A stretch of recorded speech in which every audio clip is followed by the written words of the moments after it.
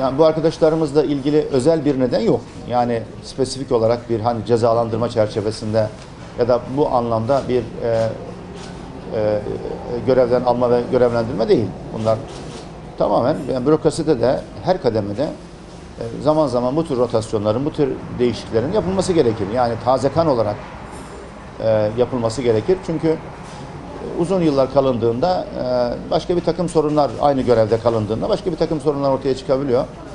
E, Dolayısıyla bu görev değişiklikleri e, yani modern bir yönetim mantığı çerçevesinde de zaman zaman yapılması gerekir, yapılır. Hatta bizim bakanlıkta rotasyon zorunludur. Belli görevdeki, belli ünvandaki pozisyondaki arkadaşlarımız belli süreler, bölgelere göre değişiyor tabii süreler. O süre görevi, süreyi tamamladığında mutlaka başka bir bölgeye tayin edilmek zorundadır. Çünkü orada uzun süre kaldığında mahallileşme dahil başka bir takım problemler gündeme gelebiliyor. Ee, yani e, diyelim öngörülmeyen, arzu edilmeyen e, bir takım oluşumlar, bir takım yapılanmalar olabiliyor. Bunlar her kurumda olabilir, her özel sektörde, devlette, kamuda.